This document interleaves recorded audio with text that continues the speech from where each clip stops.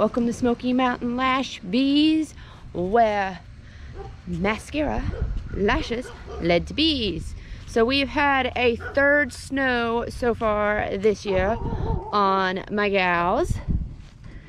So it wasn't as bad as the first one, but it is the third snow of the year so far. We got melting snow on the top drip, drip, drip, drip, drip.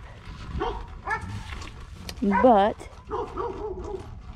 the awesome thing, the awesome thing is the new equipment for doing our videos. Yes, I got a great birthday present today because yes, today is my birthday. So awesome.